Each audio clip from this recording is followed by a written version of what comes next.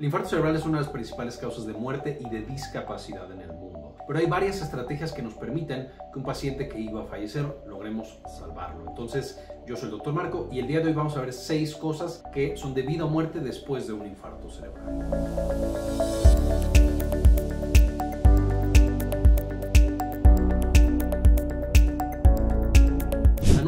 Posiblemente la más importante es la detección.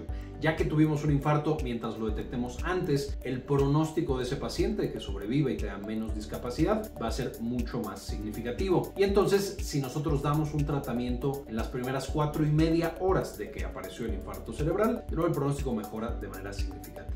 Entonces con esto hay una técnica que es la técnica camaleón que nos permite saber si un paciente está teniendo un infarto cerebral. K es para cara colgada por la parálisis facial. Ma es para mano pesada por la parálisis de las extremidades, puede ser manos o piernas que tenga el paciente. Le es lengua trabada, que es alteraciones del lenguaje, el paciente no habla o no se comunica de una manera adecuada. Y on es acción, llevar al paciente inmediatamente al hospital para que luego en las primeras cuatro y media horas le puedan aplicar algún tratamiento y recupere ese tejido cerebral. Número 2. El paciente en cuanto llega al hospital se le necesita tomar una tomografía computada de cráneo. Es una tomografía completamente normal y esto lo que va a permitir es que rápidamente se identifique qué tipo de infarto estamos nosotros teniendo, ya sea un infarto isquémico en el que un coágulo tapa una parte de las arterias del cerebro y es lo que está matando nuestro tejido, o un infarto hemorrágico en la cual la arteria se rompió y entonces hay sangre regada en cerebro. Es muy importante hacerlo porque eso va a definir cuál de los dos tratamientos, cuál de los caminos de tratamiento le vamos a dar a ese paciente. Y también es por eso que rara vez se puede dar el tratamiento antes de llegar al hospital, porque por supuesto son completamente no compatibles el tratamiento de ambos tipos de infarto cerebral. El punto número 3 por supuesto es el tratamiento en sí.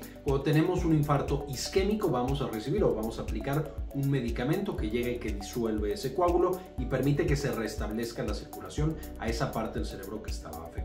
Mediante usualmente es la alteplaza, aunque hay algunos otros que se pueden llegar a aplicar. Si por el otro lado tenemos un evento hemorrágico, por supuesto ahí se necesita una intervención quirúrgica para muchas veces drenar la sangre, dependiendo de la cantidad, y reparar los vasos sanguíneos que fueron dañados. Usualmente es mejor el pronóstico en un infarto cerebral isquémico que en uno hemorrágico. Los hemorrágicos son mucho más agresivos, el tratamiento es más complicado en un hemorrágico, sin embargo, de nuevo, ambos pueden mejorar con tratamiento.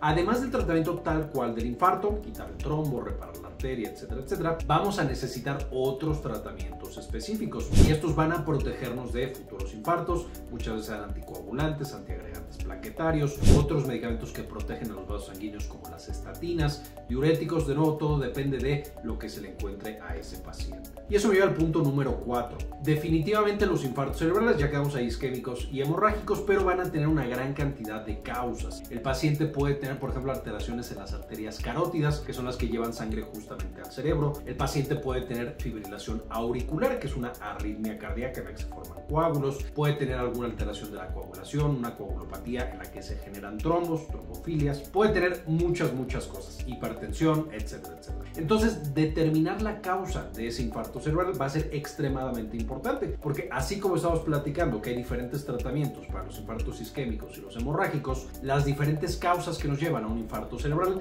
también tienen diferentes tratamientos. Y entonces habrá pacientes que solamente requieran los anticoagulantes, habrá pacientes que requieran los anticoagulantes y además tratamiento para las arritmias, habrá pacientes que requieran tratamiento para el autoinmune a la coagulopatía, etcétera, etcétera. Si nosotros manejamos el infarto cerebral, pero no encontramos la causa del infarto y no damos tratamiento para prevenir futuros infartos, por supuesto vamos a volver a encontrarnos en esa desafortunada situación con nuestro paciente que está justamente peleando por su vida debido a otro infarto cerebral. Y por supuesto, conforme se acumulan los infartos cerebrales, aumenta la discapacidad y aumenta la probabilidad de que el paciente fallezca. Número 5. Es extremadamente frecuente que un paciente con infarto cerebral padezca de depresión, ansiedad y otros trastornos neuropsicológicos. Y se ha visto que los pacientes que no reciben atención a las alteraciones mentales, de nuevo como depresión y ansiedad, tienen un peor pronóstico en cuanto a la recuperación de las funciones neurológicas que tenían previamente. Muchas veces no se toman el medicamento de manera adecuada y eso puede llevarlos a futuros infartos cerebrales. Por supuesto, esto asociado a una depresión o algún otro trastorno emocional o mental. finalmente, los pacientes que sí reciben el tratamiento, incluso que les damos manejo antidepresivo, tienen una recuperación neurológica mucho más significativa. De manera que la parte neurológica es súper, súper importante. El dar el tratamiento para el infarto tal cual también es súper importante, pero no debemos olvidar la persona que sufrió el infarto cerebral, todo lo que puede estar sufriendo además de solo lo neurológico y tenemos que verlos también en ese punto para mejorar su calidad de vida y también por supuesto para mejorar la recuperación funcional y la probabilidad de infartos.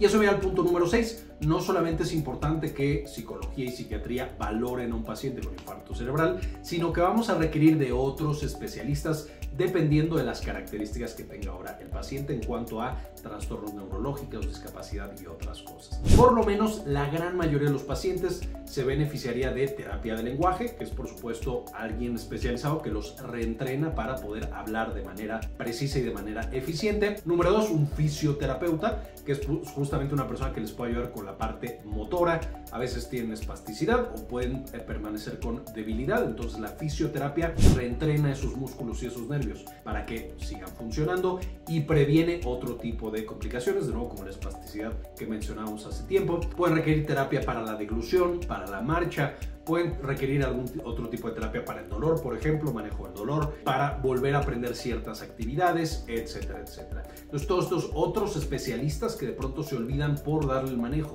al infarto cerebral son igualmente importantes para la recuperación de ese paciente y para prevenir discapacidad Definitivamente el infarto es muy complejo y estos seis puntos no son los únicos que tenemos que tener en mente. Sin embargo, me parecieron esenciales de transmitir para estos pacientes que tienen un infarto cerebral y que tenemos que atenderlos de manera oportuna para mejorar su calidad de vida y básicamente salvarles la vida. Gracias por ver este video. Por supuesto, aquí van a ver a los miembros del canal que les dedico este video debido a que nos están apoyando continuamente con donaciones mensuales de uno o de dos dólares al mes y con esto nosotros podemos hacer este tipo de videos y compartirlos de manera gratuita con todos los demás y por supuesto ellos pueden ver los videos antes sin anuncios y tienen algunas otras ventajas del canal, descuentos a productos, cursos, etcétera, etcétera. Si quieren ser parte del canal, por supuesto en la descripción del video pueden encontrar cómo hacerlo. Muchas gracias por ver este video, también en la descripción van a encontrar más información de prevención, tratamiento y rehabilitación de infartos cerebrales, un tema súper súper importante. Con esto terminamos y como siempre,